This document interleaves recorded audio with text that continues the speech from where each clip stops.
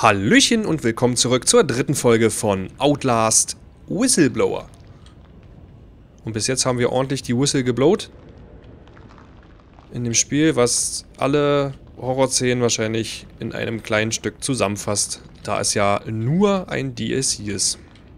Gut, wir klettern mal hier nach oben.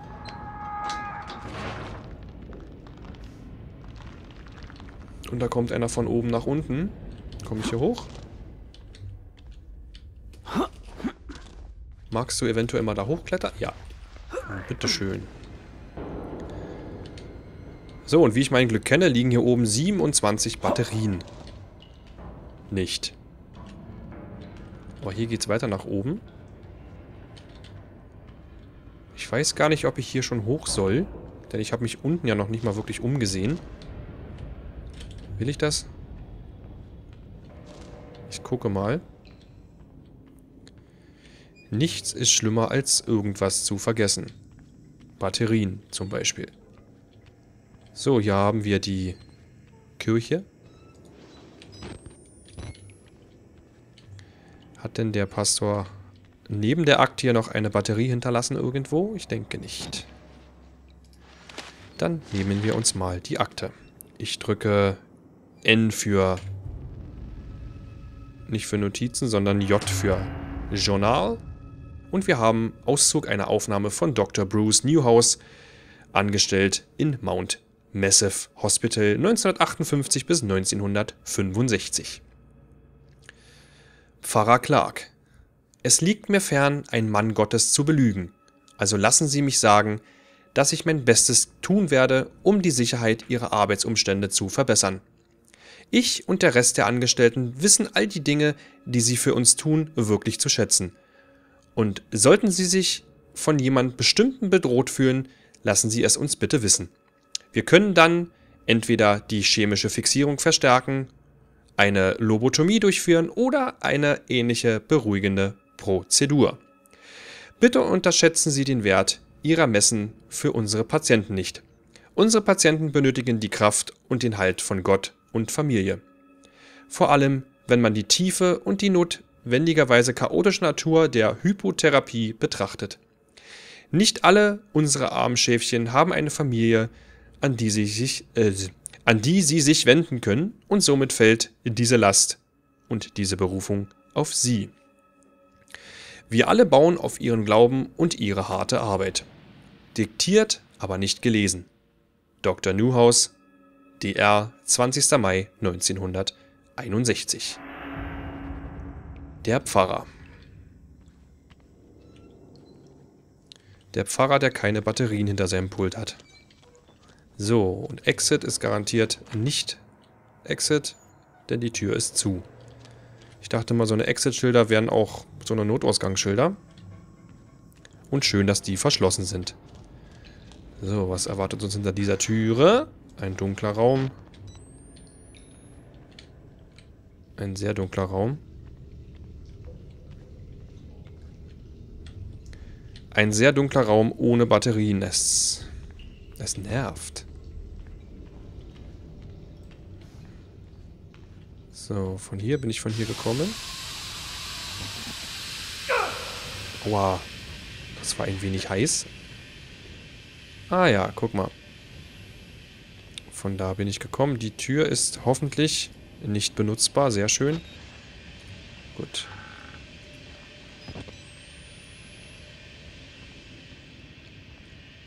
Gibt es hier eventuell das ein oder andere Batteriechen.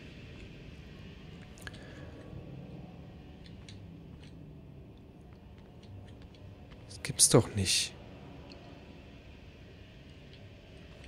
Wie kann man denn als Entwickler so geizig sein? Gut.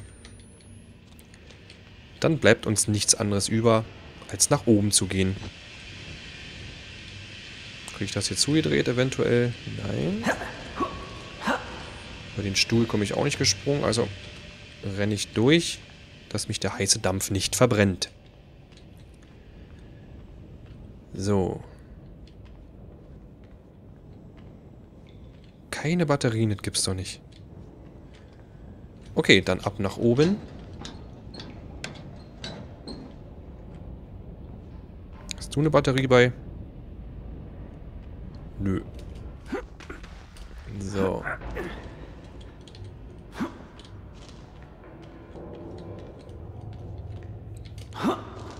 Na. Was macht denn der da?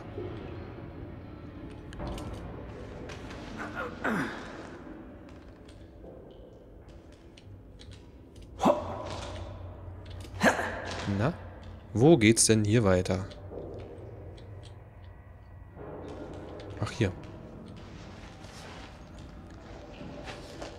Schleichen an den Wänden entlang.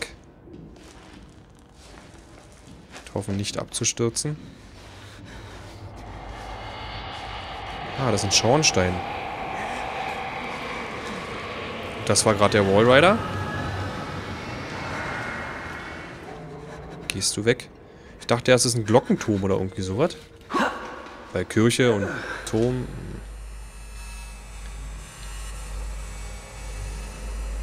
So, da geht es wohl weiter. Gibt es hier noch eine Batterie? Eventuell? Natürlich nicht. Gut, dann krauche ich mal durch den engen Lüftungsschacht in mein nächstes Verderben. Wir bekommen wieder einen Speicherpunkt. Und es ist dunkel, so dunkel. Spinte zum eventuellen Verstecken. Wir haben noch drei Batterien über. Ich dachte, da liegt ein Bein.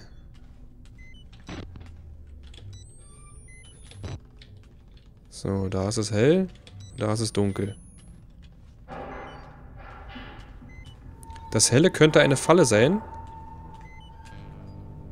Das dunkle hoffentlich nicht. Deswegen gehe ich zuerst ins Dunkle. Und was finden wir denn dort unten auf dem Boden? Eine Batterie. Yay. Wir haben vier. Ein toter Wachmann. Kopf hat er noch. Ein Funkgerät, was wir nicht brauchen. So, dann gehe ich mal ins Helle rüber. Jetzt habe ich mich verrannt. So, da. Das war keine Batterie. So, ich spare mir die Batterien auf, so lange wie es geht. Oh nein, nicht du schon wieder.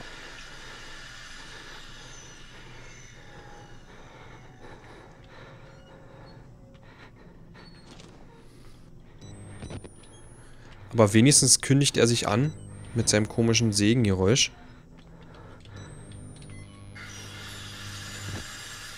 Mit seiner Akkusäge von Bosch. Ich gehe mal in diesen hellen Raum rein. Und gehe unter den Tisch und werde da warten, bis das Spiel vorbei ist. Ich lade mal nach.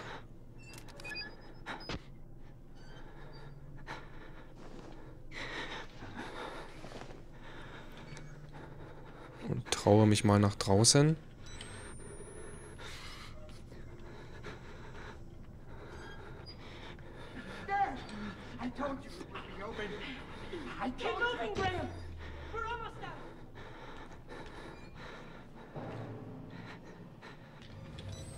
Flüchtende Bevölkerung.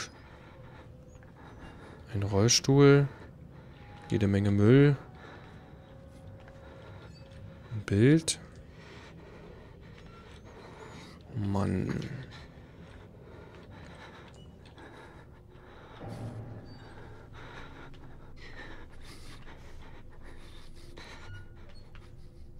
Das scheint eine Art Bibliothek zu sein. Leck mich! Wa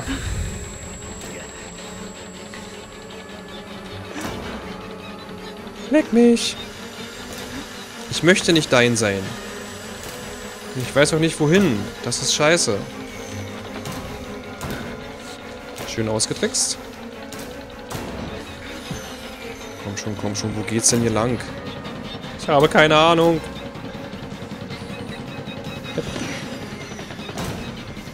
Ah. So, kommt er da durch? Anscheinend nicht. Alter. Da bin ich ja gerade ein bisschen erstaunt, er speichert, dass ich auf Anhieb den Weg gefunden habe. Und hier haben wir ein Bild von unserem Pastor, der uns im ersten Teil so wunderbar geholfen hat. Indem er sämtliche Türen hinter uns verschlossen hat oder vor uns verschlossen hat, damit wir durchs ganze Gebäude latschen müssen. Aber wir sind ja nicht nachtragend. Mal gucken, ob er uns in diesem Spiel ja auch hilft. Nein, da liegt eine Batterie. Och Mann. Gut, dann gehe ich mal durch diese Tür. Ich luke mal durch die Scheibe.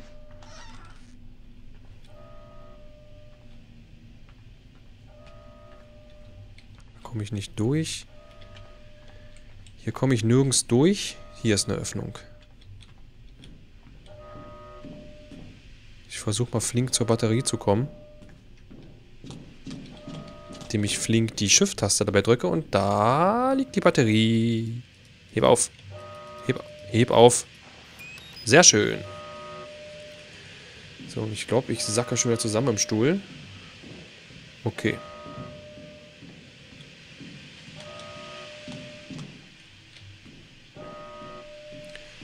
Wir folgen der...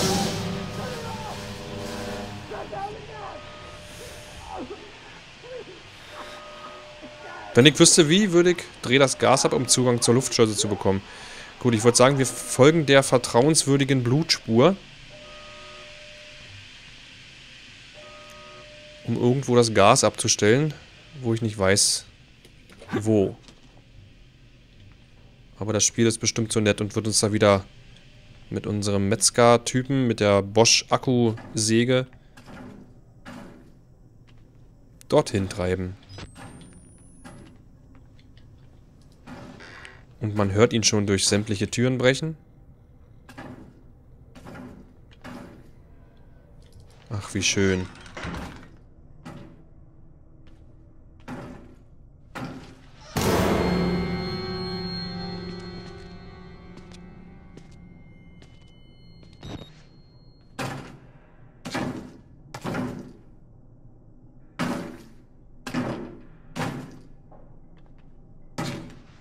Der hat wohl zu lange Outlast gespielt. Gut, ich push mich mal unterm Tresen durch. Ich guck, was da so vertrauenswürdig blinkt. E237. Keine Batterie.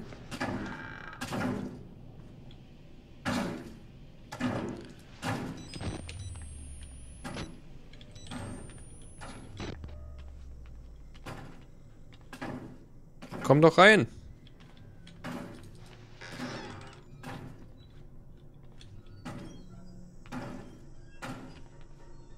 Wieder was zum Springen. Ich könnte wetten, dass unser lustiger Freund hier gleich wieder auftaucht. So, ich fange mal von hier hinten an. In der Hoffnung, hier noch ein kleines Batteriechen zu finden.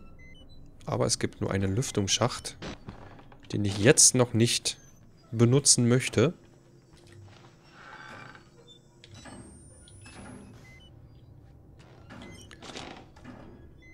Sind barfuß.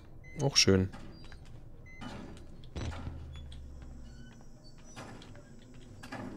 Ah, guck mal.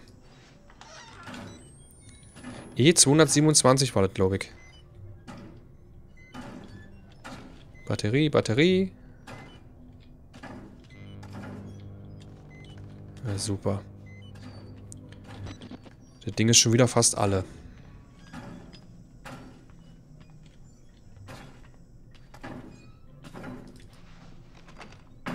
Okay, das ist die Tür, wo er gegenklopft. Ich gehe mal hier rechts weiter. Und da hinten ist dieses blinkende Zimmer. Und da ist noch ein offener Lüftungsschacht. Den wir noch nicht betreten werden. Oh nein. Aber jetzt betreten werden.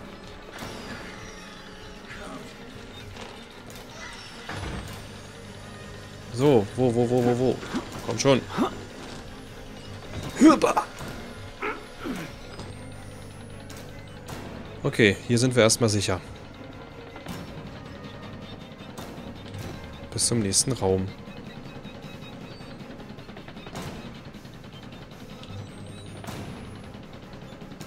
Okay, ich lade mal nach.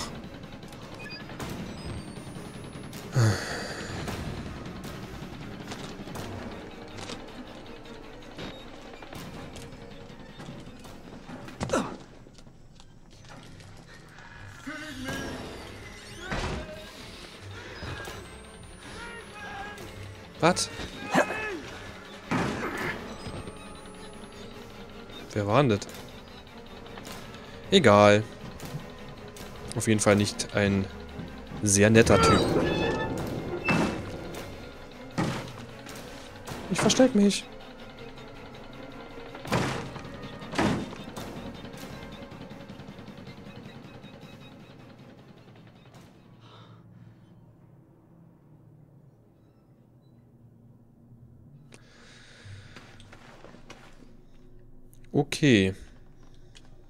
Da hat's geklopft, also gehe ich mal dort raus. Da ist ein Spalt. Der Vollständigkeit mache ich trotzdem mal die Tür noch auf. Gut. Die bleibt zu. Irgendwie hängt meine Maus ständig, deswegen Entschuldigung für die gelegentlichen Ruckler.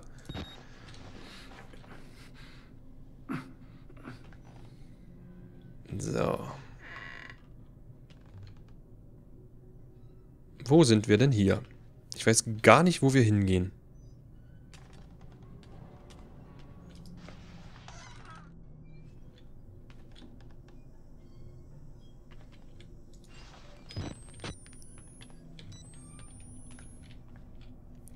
Aber es ist ruhig hier. Zu ruhig. Okay. Alter, mein Schatten. Die Tür ist zu. Die Tür ist offen. Hier ist es sogar mal ein bisschen hell drin. Aber immer noch keine Batterien. Was? Warum? Ah! Danke!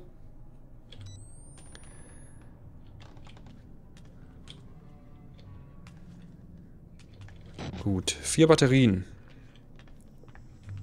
Ich guck mal, wo es da weitergeht.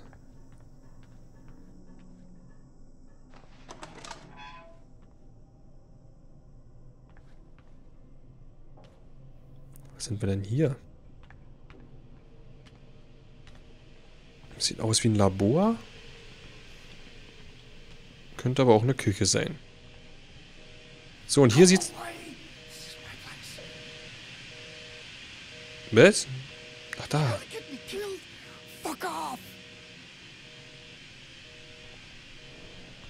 Ich möchte nur das Gas ausschalten. Was ich, denke ich mal, hoffentlich hier irgendwo erledigen kann. Oder auch nicht. So, hier benötigen wir hier immer noch ein Passwort. Okay. Gas Room. Können wir im Gas Room das Gas ausschalten? Das wage ich zu bezweifeln, wenn ich ehrlich bin.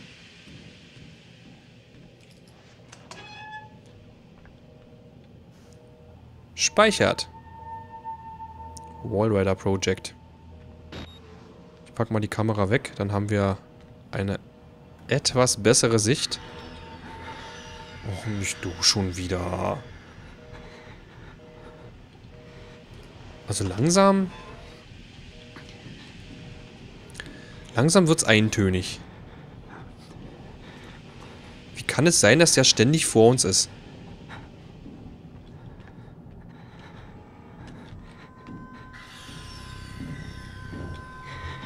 Oh oh. Jingle Bells. Ich keine Ahnung, wo ich hier hinrenne. Aber offensichtlich ist es falsch. Oder auch nicht.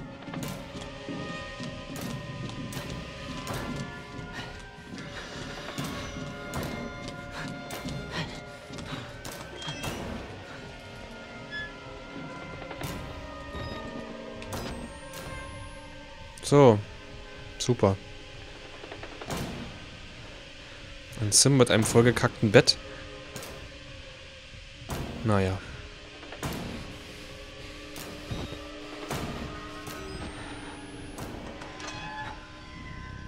Bekanntlich finde ich ja die Wege am besten, wenn er mich jagt. Also versuche ich es mal auf den Wege. Da hinten lief er wieder. Ich muss irgendwo das Gas abschalten. So, Tür zu. Oh.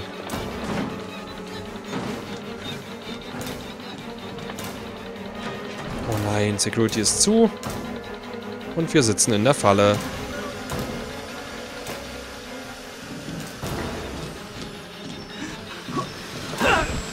Lass mich durch. Oh.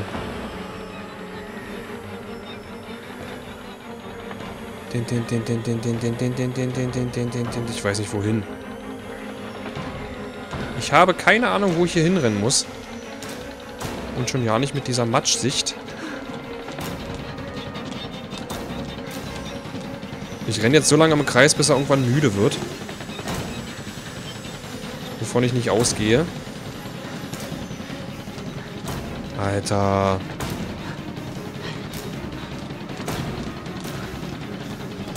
Das ist doch scheiße.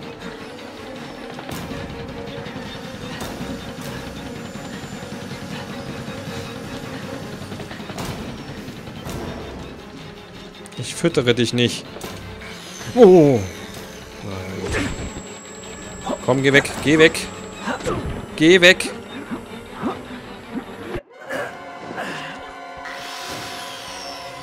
Das war sowas von klar. Aber, was soll ich sagen? Die Zeit ist um. Deswegen werde ich diesen Part jetzt hier beenden und freue mich schon riesig auf die nächsten. Vielen Dank fürs Zusehen und bis zum nächsten Mal. Ciao, ciao!